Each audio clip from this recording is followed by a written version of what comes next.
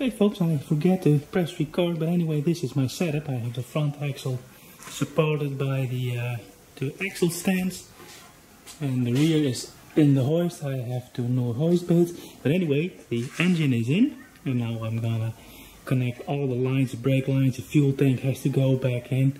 And before I put all the plastic covers on, I wanna give it a start, and I'll pick you up from there. Okay folks, I've got the fuel tank in, uh, everything is connected, there's this one line I need to figure out, it has to do with the EGR. What I'm going to do now is start it with the spark plug uh, disconnected. I'm gonna start it over a couple of times so I have oil through the entire engine. And then I'm gonna connect the spark plug and then we'll see if she'll run.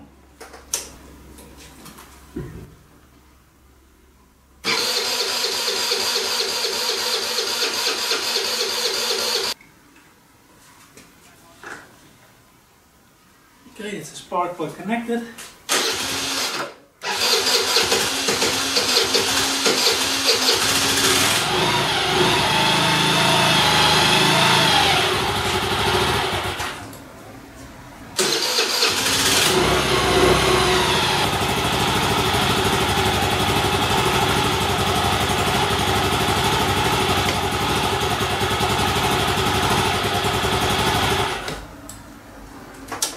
Okay, first start was somewhat of a success.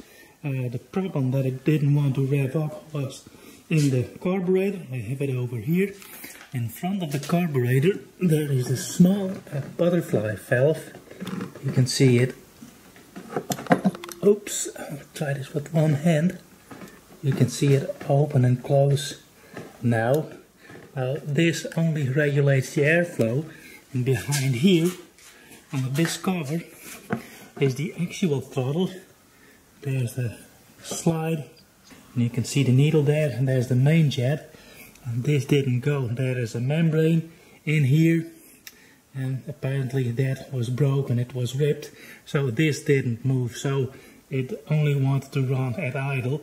Anywho, I had a new carburetor in hand, um, so that's in.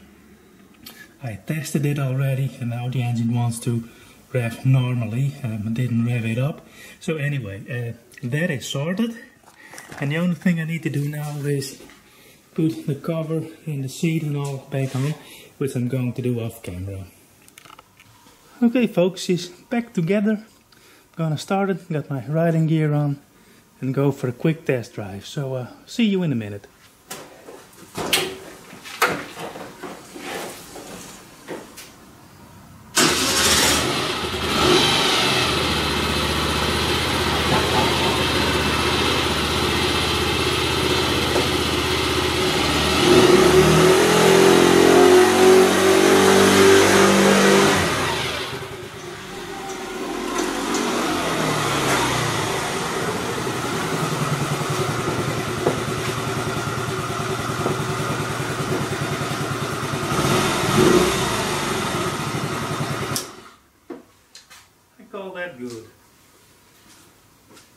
Well folks, in the beginning of this episode I said it wouldn't take as long as Project LS400 and it did.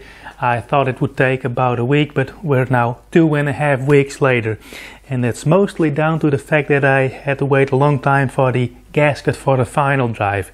Anyway, I went for a 5 kilometer test drive. As you can see maybe through the window it's getting really dark outside and it's getting cold um, everything runs fine.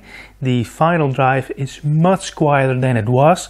Um, when I run full throttle, it goes 45 kilometers an hour. And for now, that's just fine.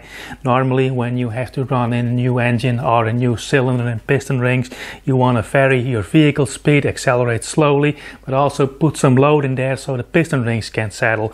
And with this kind of transmission, a CVT, it's a bit harder to do.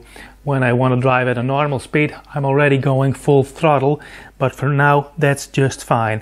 And also for my wife and daughter, who both aren't experienced riders, this is ideal. We can make things go faster uh, at a later point in time if they want to. For fuel economy, this is also better. Anywho, um, it was a fun project to do, much more than I originally anticipated. But um, I hope you liked following me along during this project. And if you have any comments, suggestions, suggestions, or constructive criticism, please let me know down below in the comments. And also, uh, please consider subscribing to the channel. Give me a like if you like what you see. I got a lot of new projects, interesting projects coming up. There's an update on my tools. There will be an update on project LS400 soon. I have another Lexus LS400 project coming up, which I'm gonna videotape this week.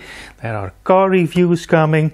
So if you like what you see and if you want to help support the channel, you can do so by buying me a coffee. I'll leave the link down below in the description. And for now, I would like to thank you for watching and I hope to see you in the next one. Bye!